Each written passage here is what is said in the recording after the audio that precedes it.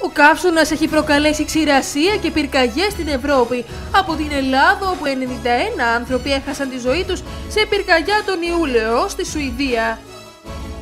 Σε περιοχές της Πορτογαλίας η θερμοκρασία έφτασε σχεδόν τους 47 βαθμούς Κελσίου την Πέμπτη και το Σάββατο, λίγο πιο κάτω από τη θερμοκρασία ρεκόρ των 47,3 βαθμών Κελσίου που είχε καταγραφεί στη χώρα και την υψηλότερη στην Ευρώπη που ήταν 48 βαθμοί Κελσίου στην Αθήνα το 1977.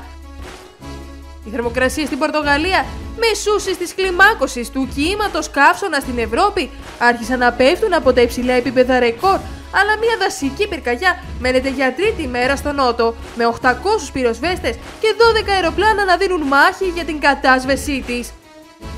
Οι φλούγες έχουν κατακάψει περισσότερα από 10.000 στρέμματα δάσους, έκταση που ξεπερνά σε μέγεθος 1.200 γήπεδα ποδοσφαίρου. Στη λοφούδη περιοχή Μονσίκε, στη νότια επαρχία Αλγκάρβε, δημοφιλείς στους τουρίστες.